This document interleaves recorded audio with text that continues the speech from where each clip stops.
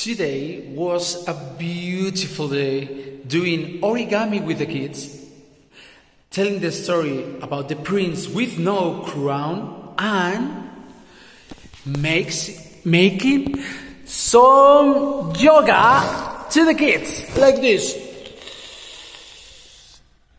They love it. So, hope see you soon.